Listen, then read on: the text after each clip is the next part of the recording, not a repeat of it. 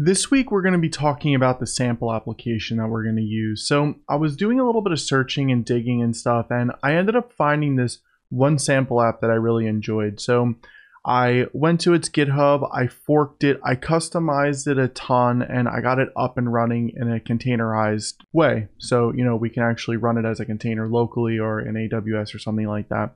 So if you want to do the same thing, feel free to just fork this from my repository and ensure that you use the Docker branch. So let's head over to VS Code. I'm going to show you this application really quick and we're going to get it up and running in our local Docker environment.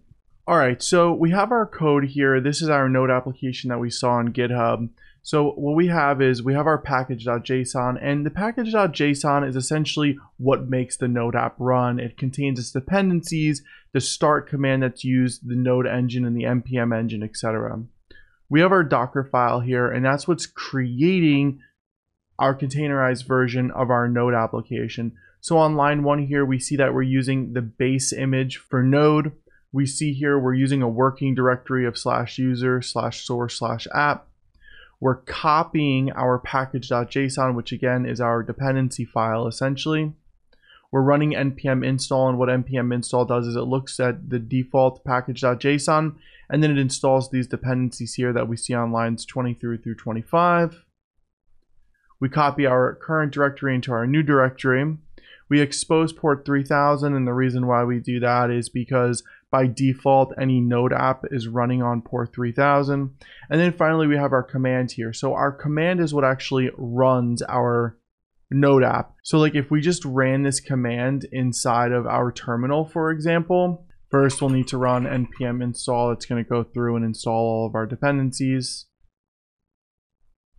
And then we can run our command here. We'll see that it's actually going to run our application. So if I go ahead and close out of that, I go back to the Docker file. That's exactly what this command is doing here. The same thing as we would just run on the terminal. And we want to ensure that we run that command that way the application runs inside of the container. So I have some Docker commands here, really straightforward. The first thing that we're going to do is we're going to build our container. So I'm going to go ahead and I'm going to run that. And then if we run docker image ls, we'll see that our test app has been created here. Notice I have a test app too. That was just because I was playing around and testing before. Next, we're going to run our container. So docker run. Now see here that we're using port 49160. Our application is going to be running on port 3000, but the way that we're going to actually hit our application in a web browser is over port 49160. So we're going to go ahead and we're going to run that. We're going to run docker container ls we see that our application is running. So now let's head over to our web browser again. All right, so we're in our web browser here. If we go ahead and we open up localhost over port 49160, we'll see that our application is officially running. And in the next video, we're going to talk about what it would actually look like to monitor an application like this. Thank you so much for watching. Really do appreciate it, and we'll see you in the next video.